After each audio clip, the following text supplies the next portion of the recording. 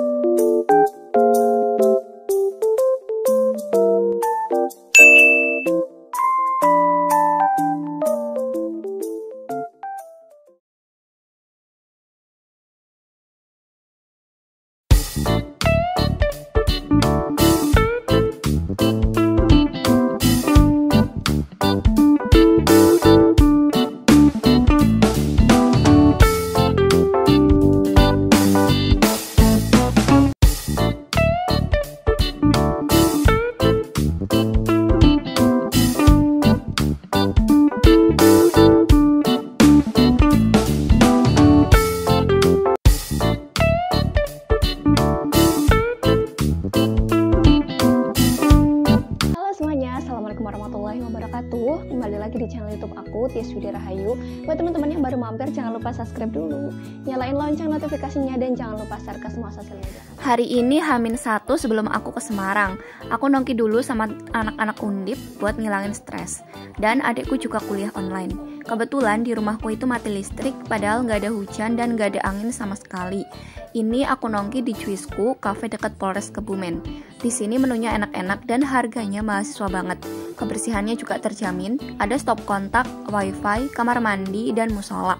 Cafe ini juga strategis banget, letaknya di pusat kota, pelayanannya juga ramah dan buka sampai jam 21 atau jam 9 malam. Pulangnya aku mampir beli jajan telur gulung di depan Perpusda Kota Kebumen atau utaranya alun-alun Kebumen. Di sini pusat jajanan kota yang ada di Kebumen. Semua jajanan itu ada, kalian tinggal pilih mau beli apa aja, dari minuman, ciki, gorengan, dan lain-lain itu udah tersedia. Masalah harga nggak perlu diragukan karena terjangkau bagi siswa dan mahasiswa. Hari HUKOM akhirnya tiba. Aku bangun jam setengah empat, kemudian sholat tahajud, belajar terus mandi. Aku mandi jam 4 subuh dan dilanjut subuhan. Sambil nunggu pagi, aku review soal-soal dari buku Sinners yang aku beli dari Shopee. Bukunya itu mantep banget sih teman-teman. Jadi aku rekomendasi ke kalian yang mau UKOM bisa beli di Shopee. Nanti aku cantumin linknya di deskripsi video aku. Dan di sana aku merasa bersyukur banget karena yang aku pelajari dari kemarin itu alhamdulillah banyak banget yang keluar dan itu hampir mirip banget soalnya karena jawabannya itu sama kayak gitu. Nah, aku belajar dari sana tak review semuanya dari materi, kemudian dari soal-soalnya juga aku pahami satu persatu. Kemudian kalau ada rumus juga aku pelajari cara pengerjaan dan cara tips dan triknya biar benar. Sebelum ujian, aku sarapan dulu dan minum favorit aku yaitu Tenggo. Karena ujian ukomku 3 jam, jadi aku isi perut biar nggak sakit. Dilanjut aku dandan sesimpel mungkin karena aku nggak mau ribet, yang penting nyaman dan selama ujian itu aku nggak ngerasa terganggu. Aku pakai lipstick yang biasa aku pakai, nanti aku cantumin linknya di deskripsi video. Kemudian aku pakai minyak wangi yang aku suka juga, nanti aku juga cantumin di video. Dan aku pakai sedikit blush on kayak gitu biar terlihat agak fresh dan nggak terlalu pucat gitu meskipun aku pakai masker tapi biasanya itu kan dibuka jadi aku sedikit pakai blush on biar terlihat aku fresh dan siap untuk ujian Aku ujian di kampus FK Undip lantai 3 Sampai di kampus jam setengah 7 Dan suasana kampusku itu masih sepi. Karena ini hari minggu juga Jadi semua dosen dan staf juga libur. Cuma ada satpam, penjaga Dan juga ada panitia ujian Kampusku itu tetap menerapkan protokol kesehatan. Sebelum masuk, cuci tangan terlebih dahulu, jaga jarak, dan juga cek suhu tubuh. Alhamdulillahnya, semuanya itu teman-teman juga menerapkan semua protokol kesehatan yang berlaku.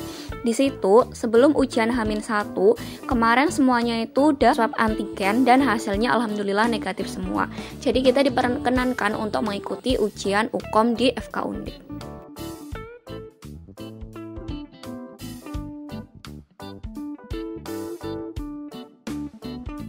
Sebelum masuk ruang, usahakan isi amunisi terlebih dahulu ya teman-teman. Apa pun bisa roti, nasi, susu, ataupun yang lainnya. Yang penting perut itu nggak kosong.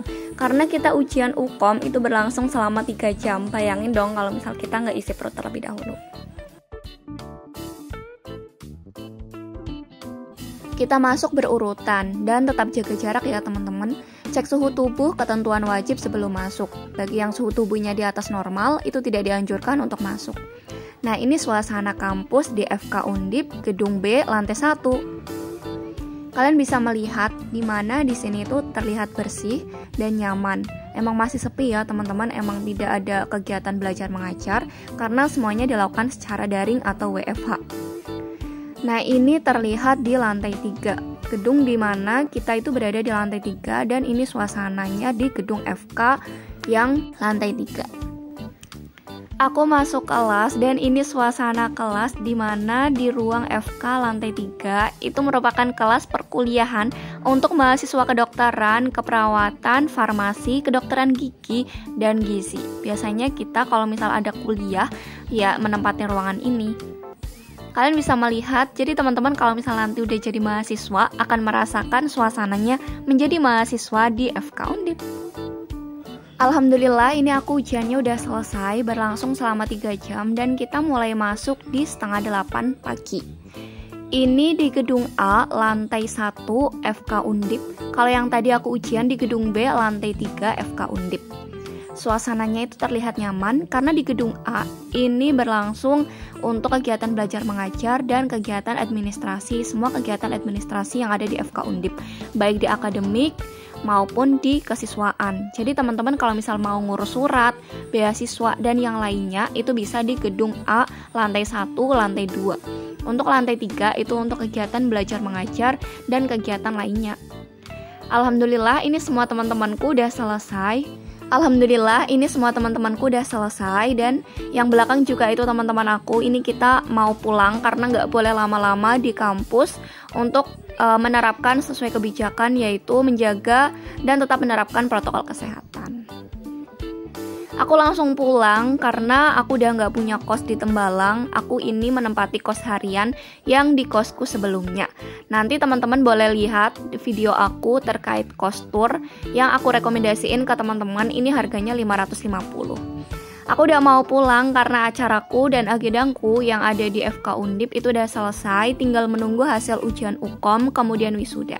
Buat teman-teman yang pengen di FK Undip dan pengen ngekos di daerah sini, nanti teman-teman boleh aja komen di kolom komentar.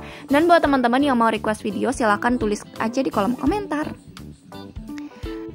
Aku pulang pergi sama adekku sebagai teman di perjalanan karena rumahku itu cukup jauh ya di Kebumen. Ini aku melewati Magelang yang ada Akmilnya. Jadi teman-teman kalau misal pengen lewat Akmil ya lewat Magelang ya teman-teman. Oke, terima kasih yang udah nonton. See you.